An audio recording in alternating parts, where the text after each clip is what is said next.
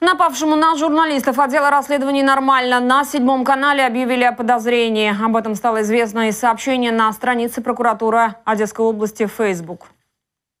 Підозрюваний свою чергу, використовуючи брутальну лайку, е, впливав на журналістів з метою перешкоджання виконання е, останніми своїх професійних обов'язків. 22-річному е, уроженцю Вірменії, громадянину України, у перешкоджанні законної професійної діяльності журналіста.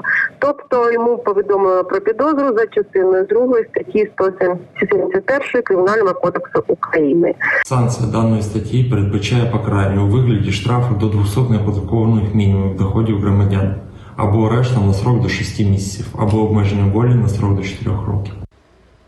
Напомню, инцидент произошел 10 февраля на рынке Северный после профилактического рейда. В результате конфликта пострадал журналист Виктор Надюк. Также нападавшие попытались разбить камеру. То, что сейчас прокуратура на подозрение предъявила всего лишь одному человеку, это, конечно, здорово, но на самом деле это была группа лиц.